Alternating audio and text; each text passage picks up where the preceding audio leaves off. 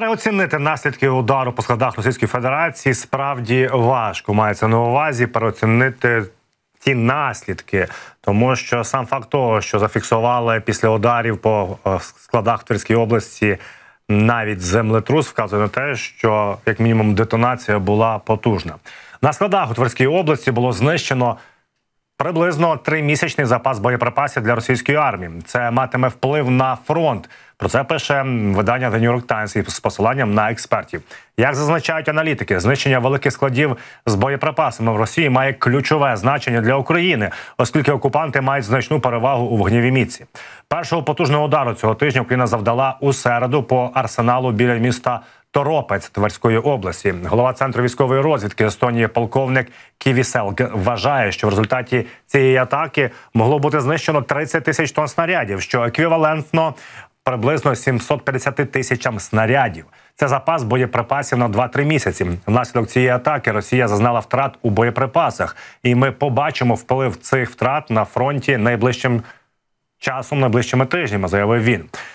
Масштаб російських втрат наслідок нової атаки в ніч на суботу ще також належить з'ясувати. Відомо, що на арсеналі Тихарецьк в Краснодарському краї, куди вчора прилетіло, наймовірніше зберігалися снаряди з північної Кореї. Аналітики кажуть, що Тихорецький склад був важливою ланкою в забезпеченні російських військ. Він знаходиться приблизно на однаковій відстані від зон бойових дій на Донбасі та в тимчасово окупованому Криму, через який боєприпаси постачаються на південний фронт. Також е, залишається незрозумілим, з якої виду зброї Україна атакувала склади. Джастін Бронк, старший науковий співробітник авіації та технологій Королівського інституту об'єднаних служб, сказав, що вистачило б і малопотужного безпілотника, якщо боєприпаси зберігалися просто неба. Але ймовірно, що склади боєприпасів були захищені земляними валами та підземними бетонними укриттями, через що їх було важко атакувати за допомогою безпілотників. Для цього потрібна не просто ракета, це має бути важка ракета. Може було б припустити, що це британо-французькі ракети Storm Shadow чи Скалп. Storm Shadow. Але по перше, е, дозволу використовувати західне озброєння по території Російської Федерації Україна досі не отримала. І друге, найважливіше, Володимир Зеленський вчора у вечірньому зверненні сказав, що ураження цих складів боєприпасів було здійснено виключно зброєю вітчизняного виробництва.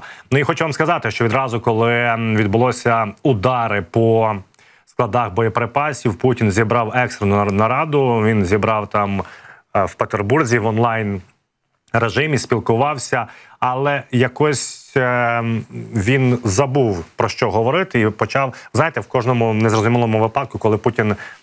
Має якісь е, екстрені завдання про щось коментувати там чи похід Пригожина чи, от власне, підриви складів, він починає згадувати про історію. От цього разу з Кремля, включившись онлайн, він згадував про якісь ем, трактування історії, про якусь альтернативну історію, і про те, що в останні роки історія дуже часто використовується в сучасній політиці як е, засіб досягнення. Певних політичних цілей. Ну кому як не Путіну про це казати? Альтернатив, альтернативна історія від росіян. Це вже цілі томи можна писати, як вони перекручують, вивертають її на свій лад. Ну от ем, знову ж таки три склади, яких були підірвані. От ем, естонська розвідка каже, що це на три місяці боїв.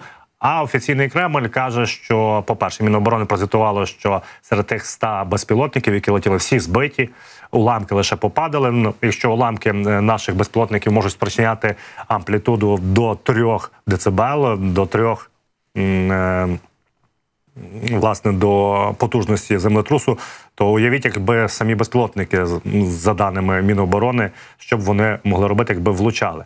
Ну і вже вкотре хочу вам сказати, що ці склади, по яких були наші сили оборони, вони можуть е, навіть мати більш катастрофічний характер для росіян, тому що цілком ймовірно, що це є атака і пошук так званих балістичних ракет від Ірану і Північної Кореї, тому що як мінімум.